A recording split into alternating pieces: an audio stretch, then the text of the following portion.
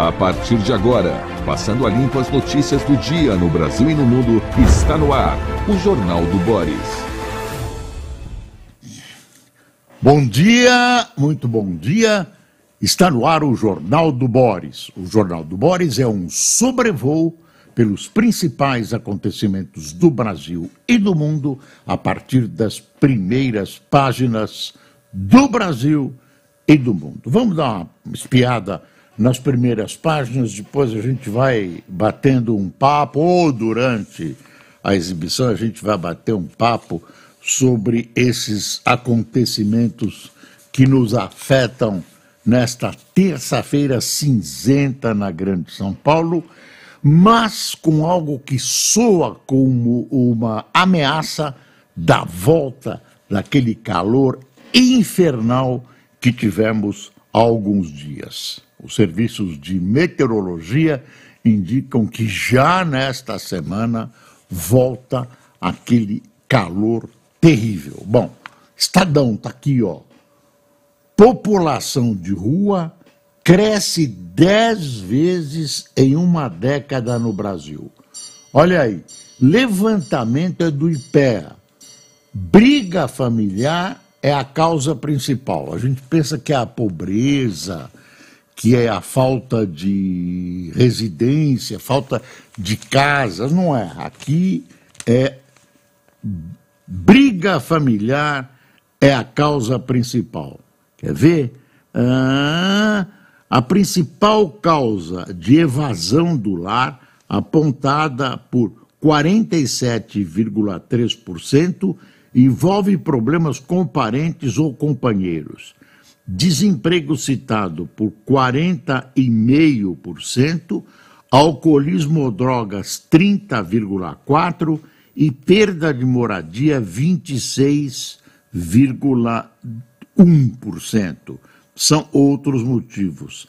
A idade média é de 41 anos, sendo que 57% tem entre 30 e 49 anos. Dois em cada três moradores de rua no Brasil são negros e 22,5% estão nessa condição de rua há cinco anos. A cidade de São Paulo continua a ter o maior contingente. Ah, enfim, ah, é uma população que o governo do Lula está tentando chegar nela para ajudar, mas você vê que quando o problema é familiar, é uma briga de família, que, que abrange o maior contingente de moradores de rua, é mais difícil resolver. Psicólogo, psiquiatra, conselheiro, religioso, tudo isso. E também porque não envolve uma parte só, geralmente, né? Envolve uma briga com família, etc. Esse problema de morador de rua é uma questão não resolvida em muitos países do mundo. Eu me lembro que um dia estive na Alemanha e tinha um morador de rua numa praça, quando a Alemanha estava numa situação econômica brilhante e as autoridades municipais lá estavam preocupadas com a imagem que ele projetava, né, porque morador de rua, ah, vestido a caráter, né, descalço e tal, e, e ah, ele objetivava fazer um protesto, era protesto contra a sociedade, contra a bomba atômica. Então, aquilo afetava a alma da gestão alemã, né, que procurava uh, demonstrar uma situação ah, social muito boa, mas nem sempre é como as autoridades querem, e esse era uma espécie de protesto desaforo que esse senhor fazia no centro da cidade era Munique, uma das melhores e mais bem organizadas cidades da Alemanha. Agora eu não sei como está, eu me parece que as coisas devem ter piorado muito, né? o mundo vai evoluindo, vai percebendo, o mundo vai evoluindo, você sempre tem uh, problemas colaterais, problemas criados por essa evolução. Há 50 anos atrás, pouca gente tinha automóvel, pouca gente viajava fim de semana, uh, né? uh, pouca gente tinha a, a série branca, fogão, geladeira, etc, etc. E agora as coisas, as pessoas chegaram a esses bens, né?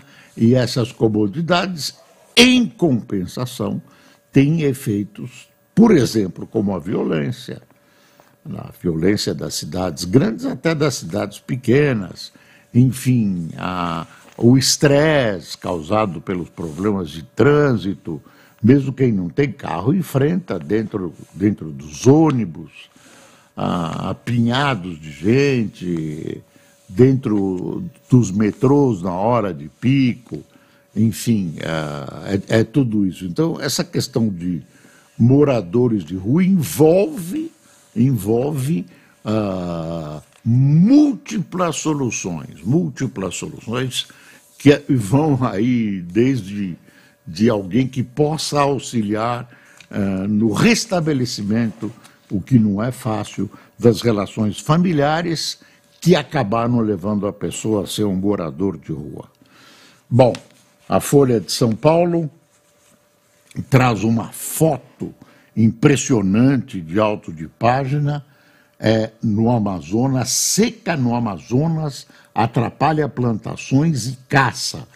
Casa, causa falta de peixes e alastra a fome.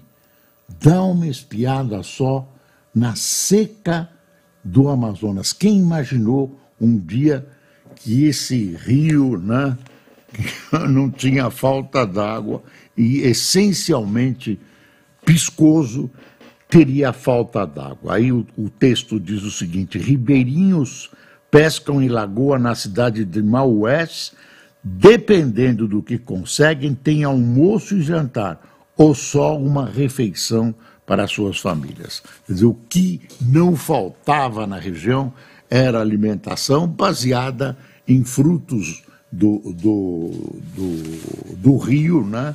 o rio que provinha tranquilamente a alimentação dessas pessoas. Uh, o valor, empréstimos a estados e municípios com aval da União, tem salto neste ano. Claro que este é um.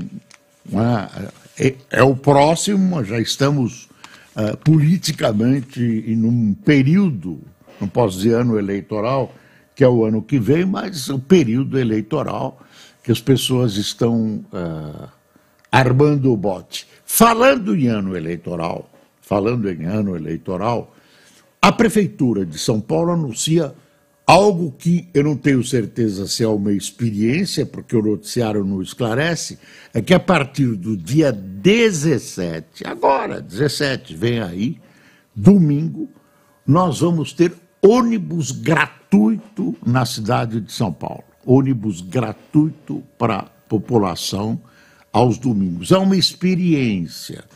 Uh, o noticiário é confuso, uh, não, não põe um ponto final na, nesse, né, nessa, nesses ônibus gratuitos, serão todos os ônibus, todos os ônibus dentro da cidade de São Paulo.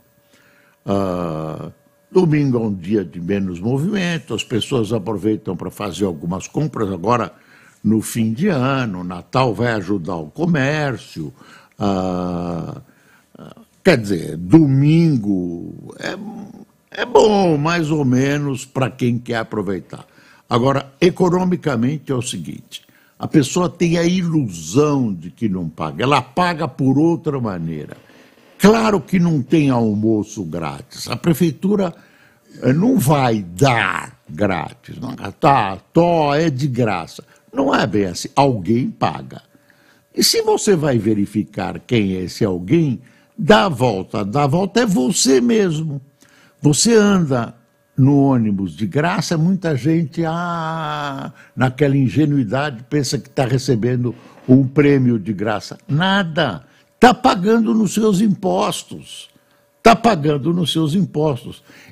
Esse é, essa é uma benesse, um, um, uma dádiva política eleitoral. Estamos próximos da eleição.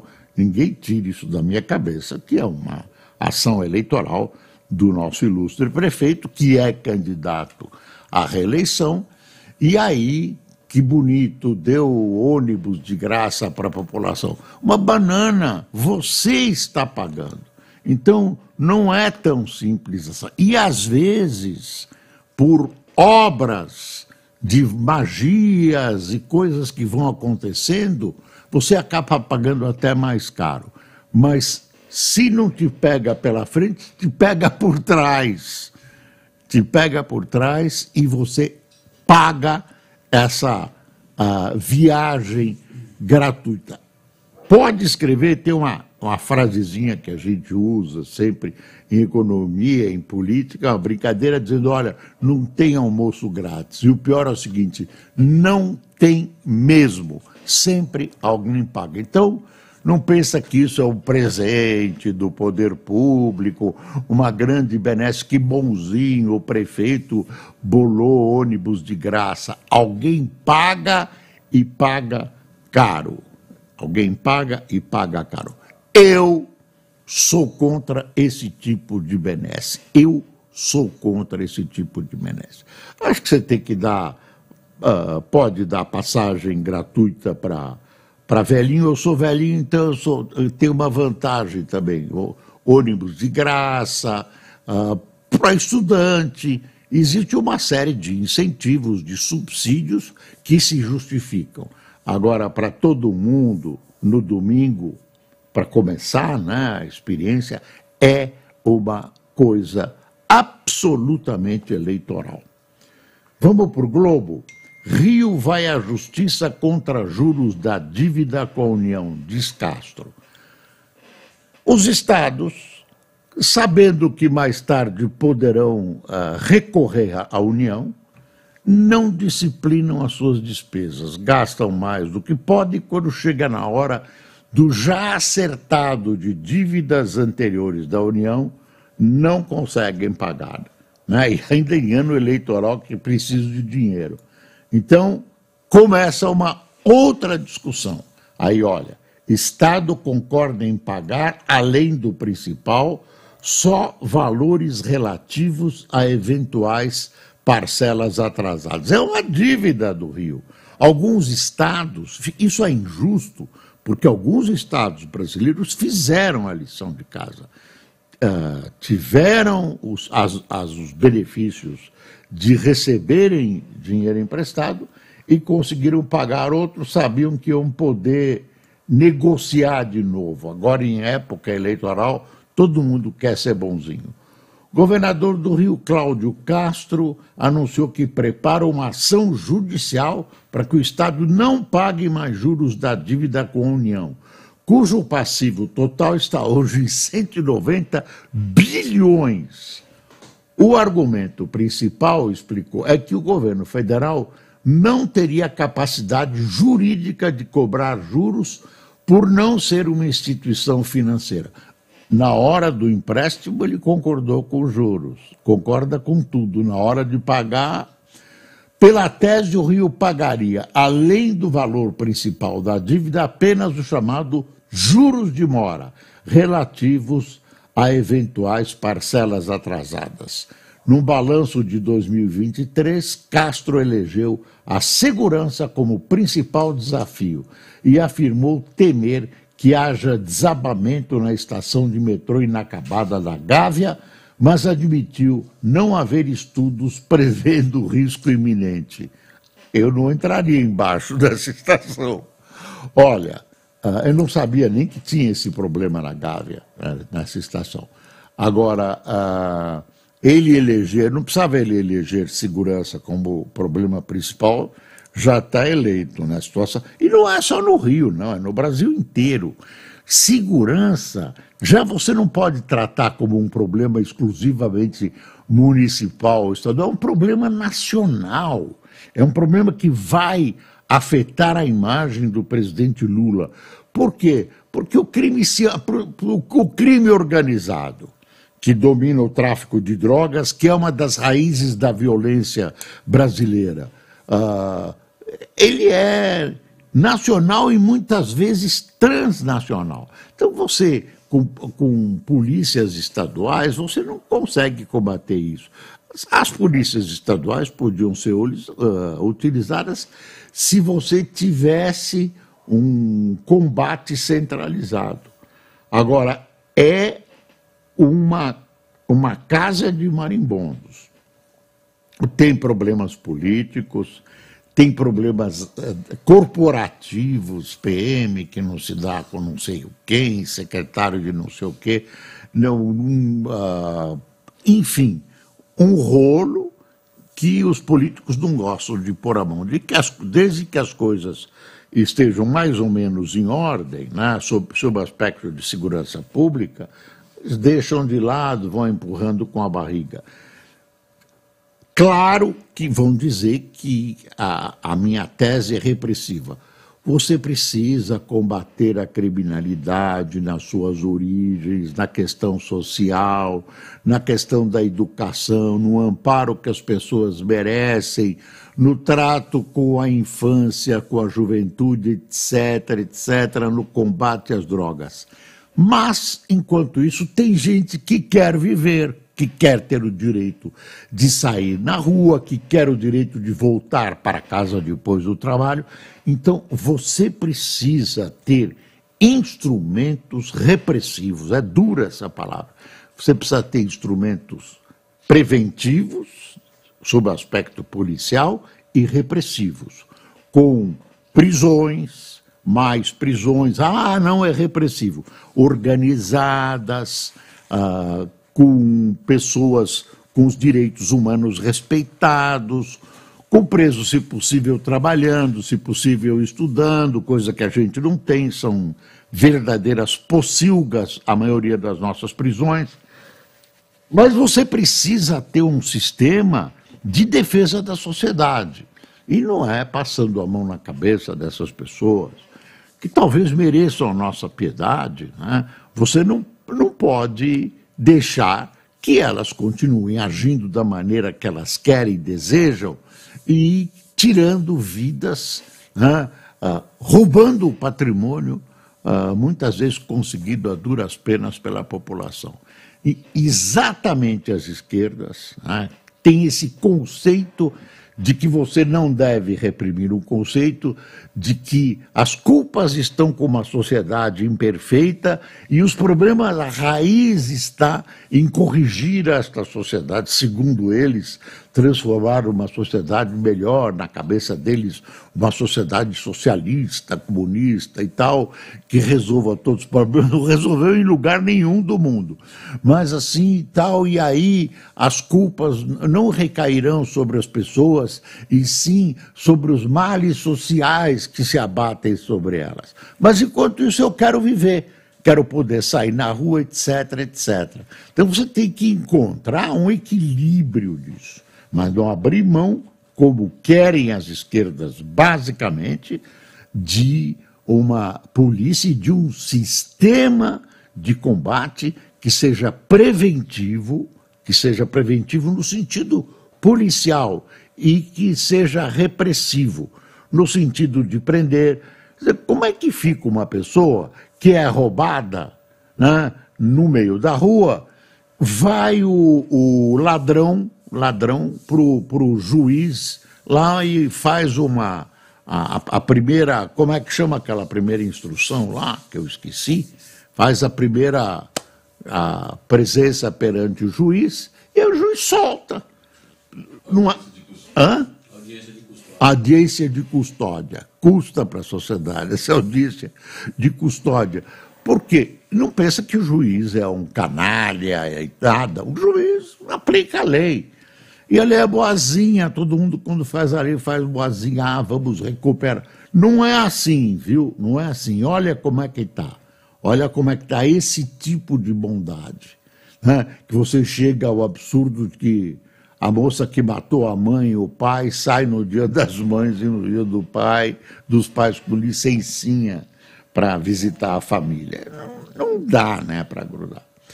Olha, tem uma história hoje que os jornais não cobriram porque saiu tarde, acredito eu. A dona Janja, primeira dama, teve o seu X Twitter, ex-Twitter, invadido por um hacker.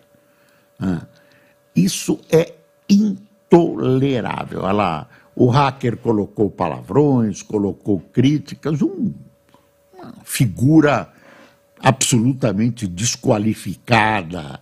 Ah, já por invadir não tem qualificação. Ainda mais colocar palavrões e tal, uma, uma coisa absolutamente insuportável. Né? Uh, não é que, por que se trata da primeira-dama, mas mostra, mostra a, a, que o sistema é frágil. O sistema é frágil. Nós precisamos fortalecer o sistema ou dificultando a entrada de um hacker, que é o ideal, ou então conseguindo localizar, criando uh, métodos de localização dessa gente. Eu espero que esse hacker que invadiu né, a, o, o Twitter da primeira-dama Janja seja localizado e severamente punido. Não com uma cesta básica. Vai passear, meu filho, fica com uma cesta básica, duas cestas básicas e pronto, está resolvido. Esse cara está pronto para delinquir de novo. Agora, é insuportável Repito, não é porque é primeira-dama, que merece todo o respeito. É qualquer um de nós está sujeito à fragilidade do sistema. Há de se arrumar, alguém tem que botar a mão nesse sistema e arrumar. Eu sei que não é fácil, eu sei que acontece em todo mundo, mas é algo que a tecnologia tem condições e precisa resolver. No mínimo, facilitar a localização desses bandidos, dessas mentes mal compostas que têm diarreia mental e acabam uh, não tendo o que fazer da vagabundagem absoluta entrando nos sites, do, no, nos twitters das pessoas e ofendendo uh, a pessoa e quem lê. Uh, a nossa a, nosso, a nossa solidariedade à primeira-dama pela, pelo desrespeito que ela sofreu, um desrespeito que nenhum ser humano merece. Repito, não é porque é primeira-dama. Uh, Milley, Milley começou a, a, governar, já fez uma, já fez uma, uh, uma coisa lá que está sendo criticada. Uh, ele mudou uma lei né, proibindo, proibindo a contratação de parentes, pero, pero criou uma exceção para o presidente da República, ele pode, contratou a própria irmã para ser secretária-geral da presidência da República. Bonzinho ele, mas pronto, é cargo de confiança. Parece que a Argentina conseguiu engolir isso. Vamos dar um passeio aqui pelo, por outros jornais? Vamos para o Haaretz, que é o jornal de Israel. Lá o negócio está grosso, hein? Ó. Ah, ah, olha, é houve uma, um assassinato ah, de soldados, morte de soldados israelenses por engano. Foram, foram confundidos com terroristas. Nossa! Ah, enfim, está ah, lá, é um jornal, é um jornal de oposição, é um jornal uh, agressivo, defende a, a, a, vida dos palestinos, né? é um, e aí tem imagens do que acontece em Gaza, imagens do que acontece em Israel. Não está aparecendo a tradução em português que está programada, ah, que apareceu agora. Ah, quer ver essa, esse título aqui, ó? Desde o início da operação terrestre em Gaza, 13 dos soldados israelenses mortos foram erroneamente identificados como terroristas. É o tal fogo amigo. Fumaça e destroços sobem sobre Gaza em meio ao conflito em curso. Olha que foto, olha que destruição.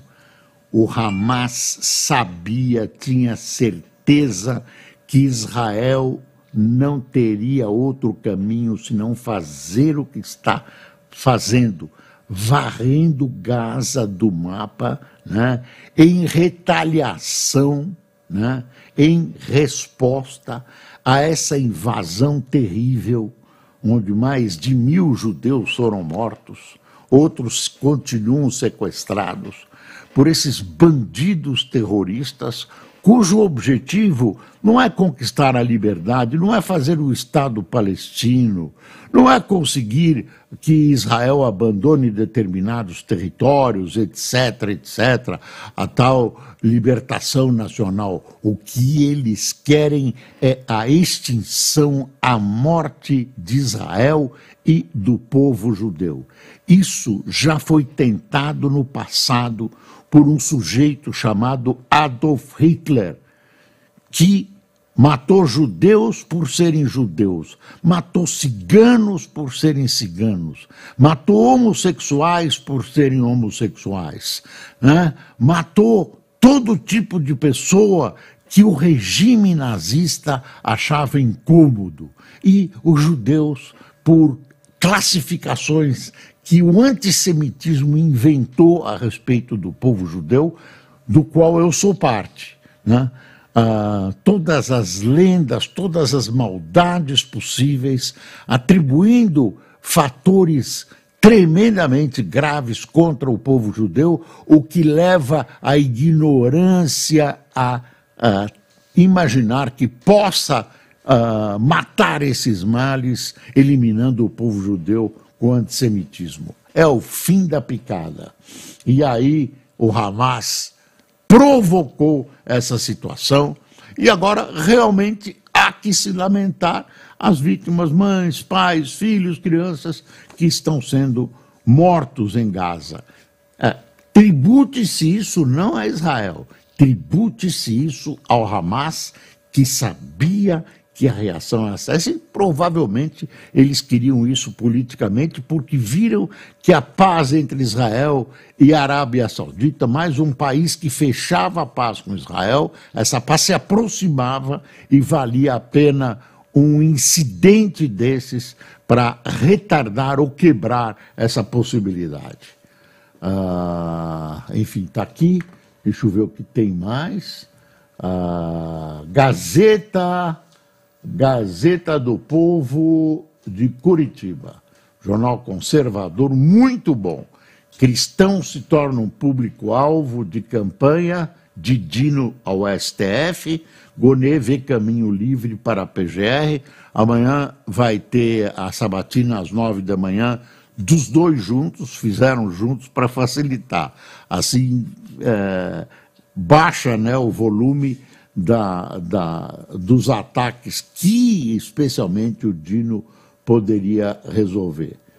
Uh, se condenado, Moura aguardará no Senado julgamento no TSE. Nova eleição tem opção de seis datas. Nova ele... Já estão pensando na eleição se o Moro for caçado.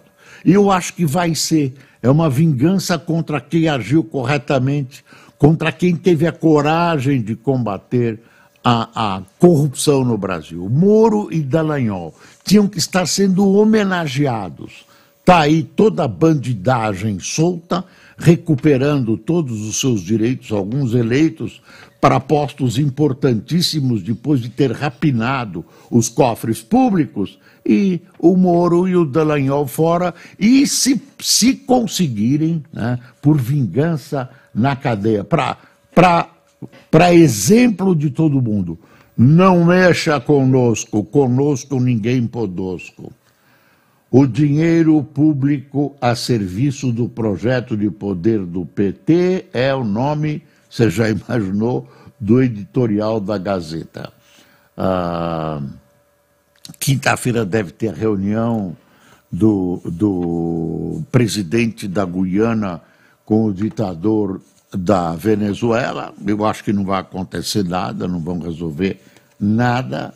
A Venezuela continua cobiçando esse território, que é rico agora, né? tem a parte marítima também, cheia de petróleo, e o Brasil já disse: por nuestra terra não passarão.